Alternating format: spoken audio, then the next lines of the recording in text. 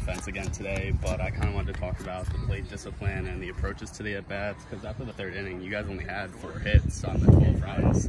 So, what you just think about what they're seeing, what they're looking to find today?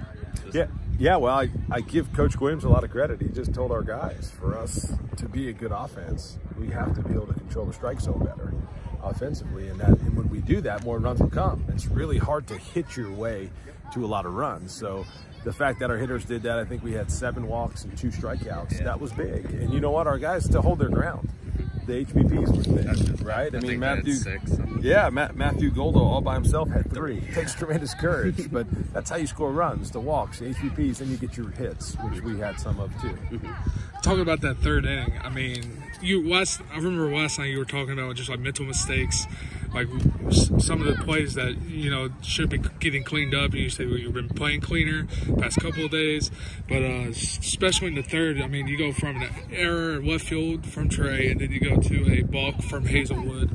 It ended up like you ended up top of the third before two before the big inning. Like, where are some of those mistakes you saw and kind of cost you three runs there? Yeah, just too many free bases, right? Like way too many free bases. But the, the, the positive to draw from that is, you guys know me, I like to see the good in things, right? Like, yeah, we do that and then we come back and score 10.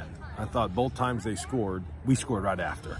You know what I mean? And if you think about sometimes a, a baseball game like a boxing match, you're going to throw punches, you're going to throw some crazy punches, and you're not going to land the ones you want sometimes. You're going to make mistakes. And uh, sure, we, got to clean some of that up. Um, and we haven't played that clean, crystal clean game yet. I'm like waiting for our team to do that. But I was really proud of the way we responded. They scored three, we scored ten. They, sc- you know what I mean? So we got to keep doing that. If our team can respond like that, that'll that'll be a good sign. What do you think of your relief pitching today? Because it seemed like everyone came in, did their job pretty well, kept the, kept zero on the scoreboard. Yeah, I thought Zach Lee was in complete control. That was big. Um, in total control. Field his position, moved the game along. He threw, what did he throw? Three three innings, shutout baseball, moved the game along. I thought that was good. And I was I was really impressed with Will Gambino to come in and we had a nice play at second base with Zeke Lewis, nice play at shortstop, nice play at third base with he stepped. Like he got everyone involved. He moved the game along, and then Ron Cole steps in for his second outing, had a good, crisp, clean inning. So um, I thought our bullpen did a really good job tonight. 13 strikeouts today. What, what are some things you're seeing from the pitching staff that, you know, going forward, do you think it will be a crucial help going into SEC play? landing multiple pitches for a strike.